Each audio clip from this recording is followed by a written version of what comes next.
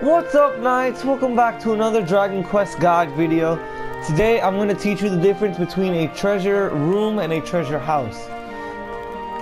So what you're going to want to do, one, two, three, four, five.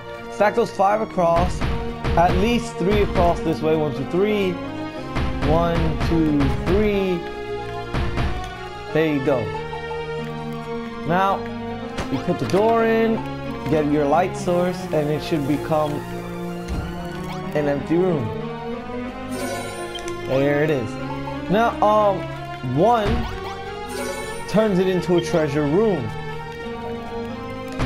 Three, treasure chest turns it into a treasure house. Um, now what's good about these rooms is that you can make them as big as you want, place as many as you'd like, and you never have to worry. Um, I showed you a very basic version of it just now. Um, you could use anything for the walls. The game doesn't really matter.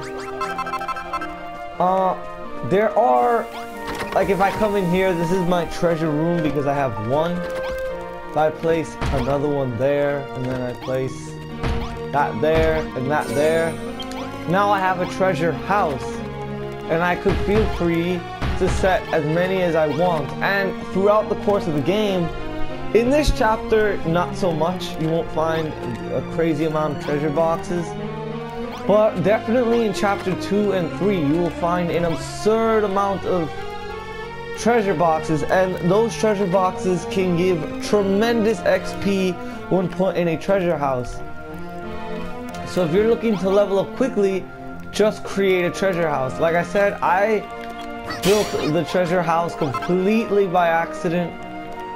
I didn't even mean to do it. I just ended up doing it. So that's the difference between a treasure house and a treasure room, guys. Um, I hope this video has been informative and helpful. And next time, I will be teaching you guys how to make the watchtower. Hey, before I forget, um, I'm actually going to be live streaming today at 1.30 Eastern Standard Time for Outlast. Um, Halloween is Monday, so let's see if we can beat that game by tomorrow. Um, please be there. Remember to follow me on Twitter at JJ Walkthrough. As always, I'll see you Knights in the next episode. Boom.